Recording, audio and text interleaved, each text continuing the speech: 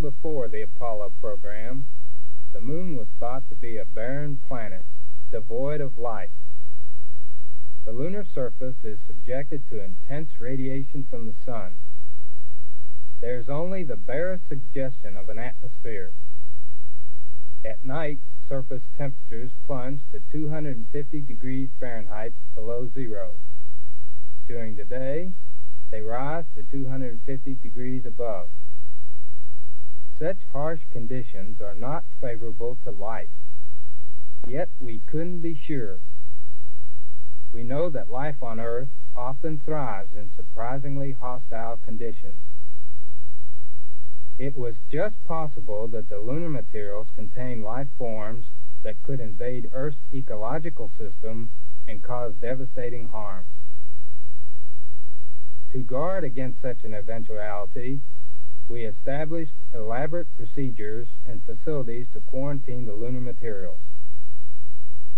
We undertook major studies to learn what effect lunar materials might have on Earth's organisms. One of these focused on the plant life of Earth and was carried out jointly by the National Aeronautics and Space Administration and the Department of Agriculture.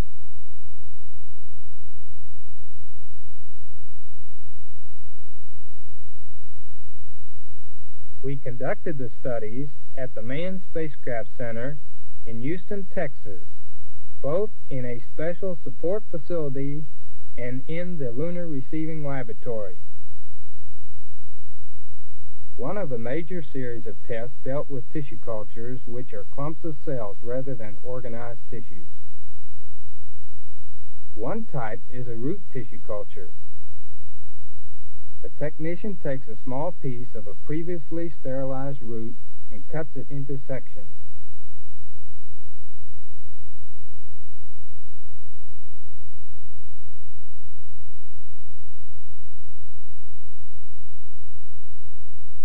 The small root piece will be placed on a medium which is good for growing cells. The medium contains minerals as well as an auxin or a natural growth stimulator. The auxin also keeps the cells in an undifferentiated state. The proliferation of the individual cells takes place from the cut surface of the root. The jars are capped with a sterile plastic film and are placed in incubators for some time before testing.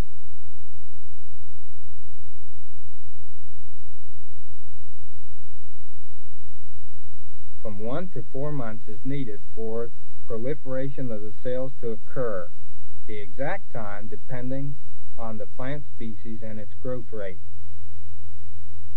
The incubators provide a source of light as well as temperature control for the young cultures.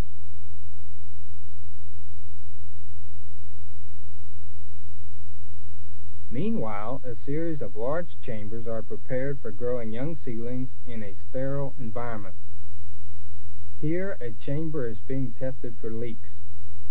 This is done by filling the chamber with Freon, then measuring for leak rates exceeding four hundredths of an ounce per year.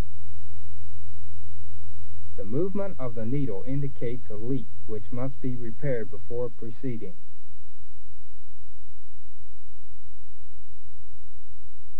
Once the chamber is gas tight, a weighed amount of paraformaldehyde is added on a hot surface and vaporized. This kills all germs on all surfaces within the chamber. Paraformaldehyde is used because it does not cause rusting or degradation of containers or of the chamber itself. Notice the deposition of paraformaldehyde on the surfaces of the chamber. In addition to disinfecting the chambers, we also disinfect plant seeds. The technician is treating seeds with a hypochlorite or Clorox solution which contains 5,000 parts per million available chlorine. The seeds are washed for about 5 minutes and then rinsed thoroughly with sterile water. Rinsing is essential to remove traces of the chlorine.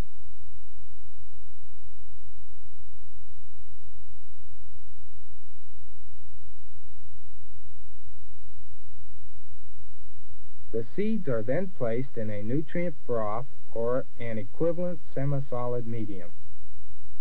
Each seed is transferred with sterile forceps to the jar. The jar is then covered and incubated in a chamber. The jars are carefully examined at daily intervals throughout the testing period, both to follow the germination rate and to discover any contamination.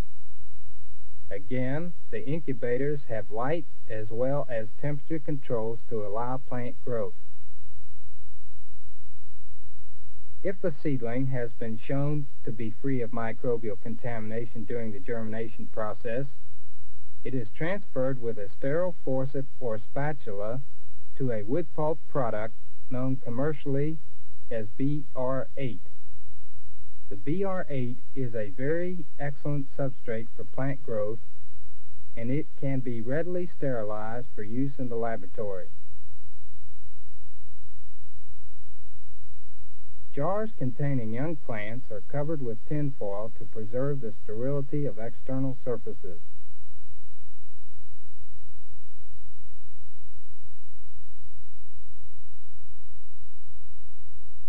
Technician uses a sterile glove to remove the tinfoil. She places a small jar within a quart mason jar previously sterilized. Every effort is made to maintain complete sterility on all surfaces within the large jar.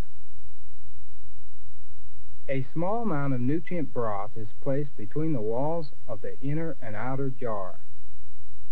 The broth encourages growth and thus permits detection of any microbial contamination. The quart jars are capped with polypropylene for incubation once again in growth chambers. The jars provide an isolator for individual seedlings during the time they are becoming established.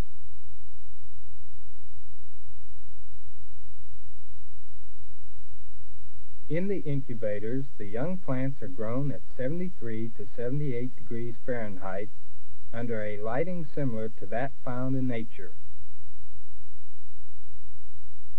In our larger chambers, the lids of jars can be removed and the plants examined. Plants can be maintained within a separate isolator for a week or longer, the time depending on the species and its growth rate.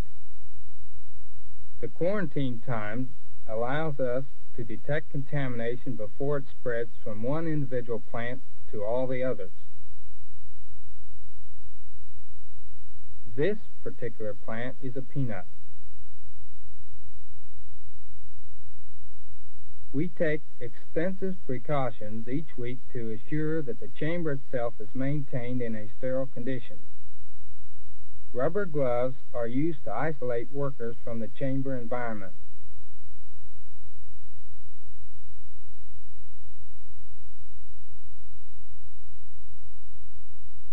To check for contamination, a technician moistens a cotton swab in sterile water or in a saline, that is, a salt solution. He swabs any given point within the chamber, collecting microbes which might be present.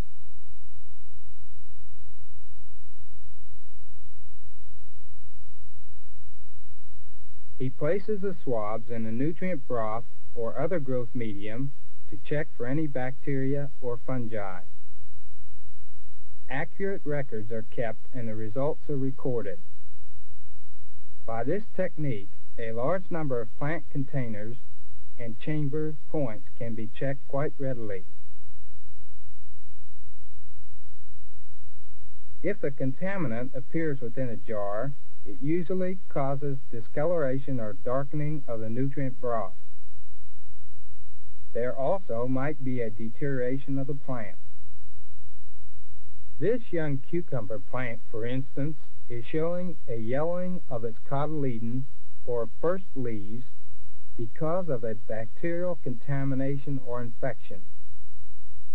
The techniques we have developed for handling and studying plants under quarantine are going to have wide application in agriculture research.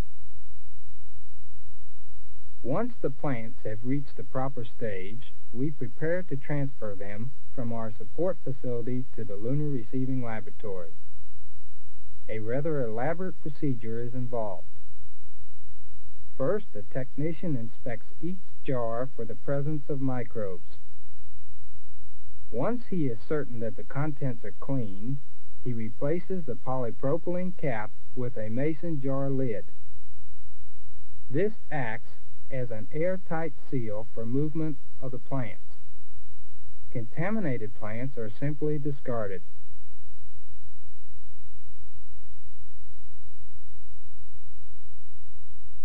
Moving the plants requires the cooperation of a number of personnel.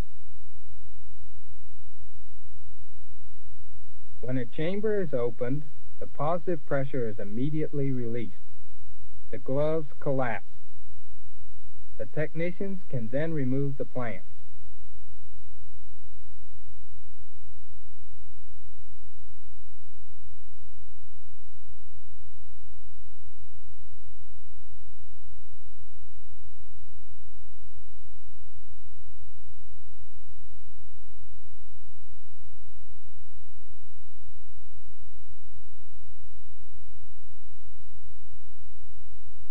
If possible, the plants must be transferred to the Lunar Receiving Laboratory before lunar materials arrive and the sample operations area is placed in quarantine. This allows free movement of the plants between the buildings.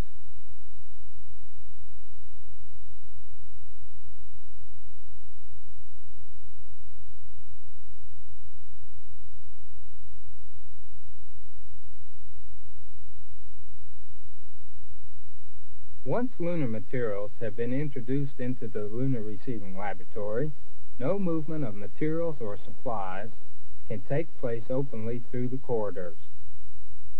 Only with elaborate precautions of moving through a series of ultraviolet airlocks can the plants be taken to the chambers.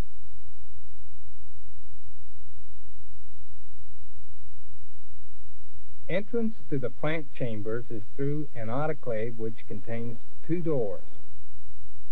One door is open only when the other door is closed. The plant jars are placed within the autoclave and formaldehyde gas is again used to sterilize the surfaces.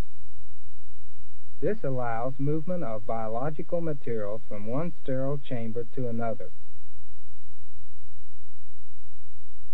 Finally, with everything set, the first of the boxes containing lunar materials arrives following emission. The boxes are unpacked in the sterile nitrogen cabinet line. This unpacking comprises an elaborate series of steps aimed at cataloging and documenting the contents of each rock box. In this case, a bag containing lunar soil is being examined. A portion of the soil is being transferred into a bolt-top can.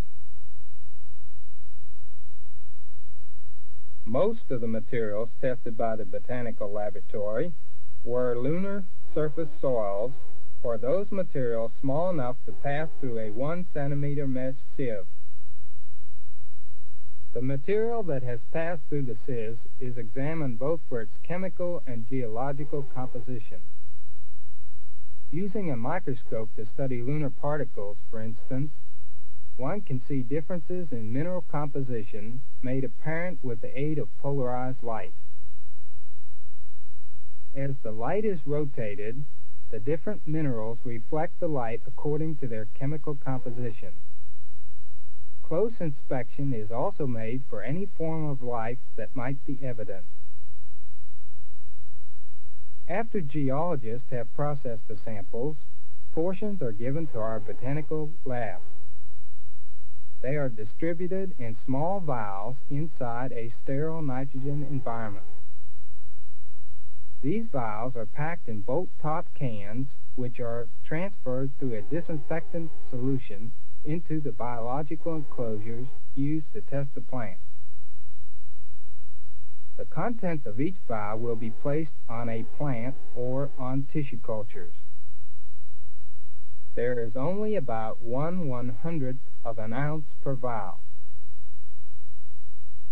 One of the most sensitive means for detecting soil-borne microbes is a seed germination test. The lunar soil sample is placed on top of seeds which have been placed in a thin chamber. Distribution of soil in this way enables us to spread a small portion over a large area. The seeds, the BR8, and the lunar soil are then watered. Within 48 hours, germination occurs for most species.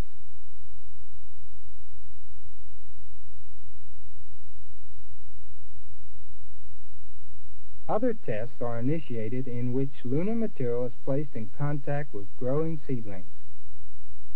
This particular melon, for instance, was treated by placing one one-hundredth of an ounce of lunar material at the base of the plant. Watering will ensure that the lunar material contacts the young growing root tips and root hairs. A young cabbage plant is treated in a similar manner.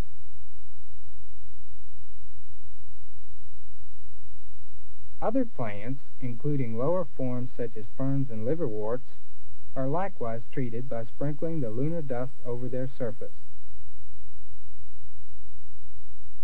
This liverwort is growing in a nutrient solution containing various mineral salts. Another way to ensure that lunar material contacts the plant cells is to rub the leaf surface with a suspension of lunar material in either phosphate solution or water. By using a glass spatula and holding the leaf very carefully, the cells of the epidermal, or surface layer, can be gently wounded. This assures that some of the smaller particulate matter enters the cells themselves. This test is often used for detecting plant viruses. Excessive rubbing of the leaves kills them, as would be indicated by immediate wilt. Here we have the leaves of a young cantaloupe plant being rubbed with the suspension. While these operations are proceeding in the seedling cabinets, other personnel are preparing suspensions of lunar material in water for treating algae or algal cells. The suspension is made in a mineral medium known to promote the growth of a variety of algae. The small amount of lunar material is placed within the jar.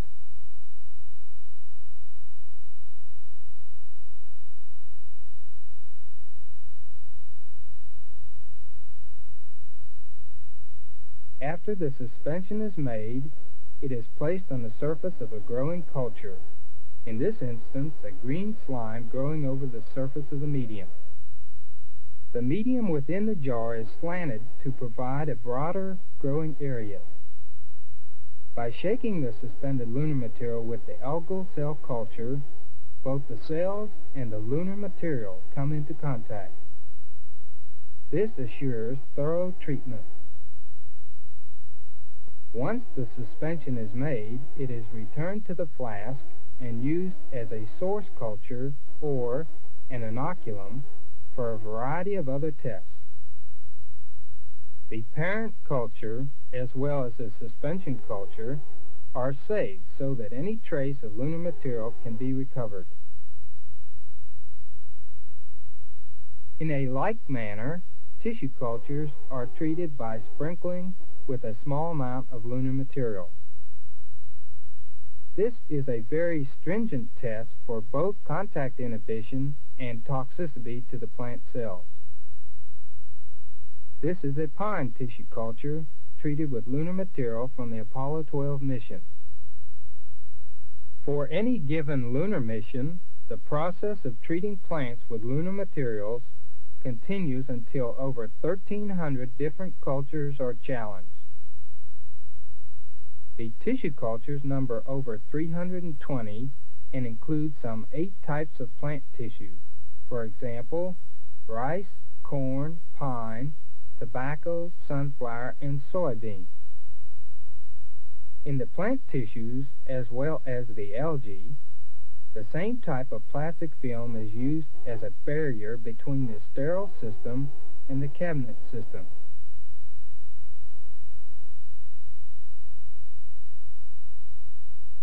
Careful records are taken of all phases of both the treatment and changes brought about by the treatment.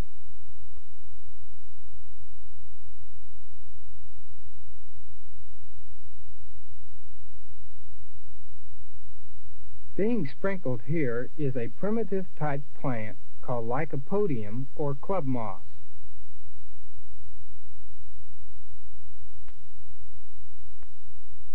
This is a younger culture of club moss in which we see the smaller clumps of tissue. It is typical of the lunar material to clump as it hits the surface. Such tissues are checked at weekly intervals. At the termination of the experiment, they are examined and analyzed. In the course of our observations, we saw that a culture of red algae began to grow a short time after treatment with lunar materials, exhibiting no inhibition whatever. Likewise, the stock culture which remained after treating the medium allowed growth, a red algae on the left and a green algae on the right. The club moss culture, which was shown as a light green young culture, has grown luxuriantly in the presence of lunar material. Traces of the material are evident on the surface of the medium. A fern culture treated three weeks previously has grown luxuriantly. The roots have penetrated the medium. The young fern leaves are bursting out of the top of the jar. In this instance, the lush green growth is found in plants treated with either terrestrial or lunar materials. Three or four weeks after treatment, the diatom appeared as a brownish slime growing over the black lunar material. There is no evidence of inhibition. After two weeks, the seed germination in the presence of lunar material indicates no deleterious effects. Indeed, they appear to be doing better than untreated plants. Likewise, the plant seedlings, such as the cabbage and the radish seedlings, which were sprinkled with lunar material, appear to be very healthy. No difference is noted between treated and untreated radishes. As the period of observation continues, generally for about 50 days, many plants, such as the cantaloupe, come into flower. The appearance of normal flowers is further evidence that the lunar material does not contain any harmful agents. This young wheat plant has grown well in spite of the fact that the lunar material has diffused down within the BR8 and contacted the root system. Careful documentation of all treated plants in comparison with untreated plants is made by photography. Here we have an untreated corn tissue culture on the left and a treated culture on the right. The roots of the treated culture have proliferated. This is a treated tobacco tissue culture, which is green after a considerable period of time. The untreated culture has died or turned tan. On the left, a treated fern culture has become intensely green in the center. On the right, an untreated culture has taken on a tannish appearance. The effect on the liverwort was quite striking. In the top row of jars, treated plants have intensified in color and accelerated in growth. The process of observation is followed up by histological or cellular studies.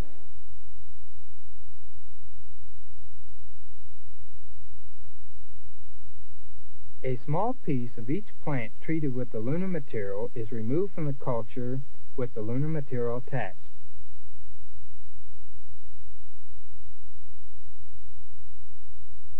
It is placed in a killing and fixing solution called glutaraldehyde.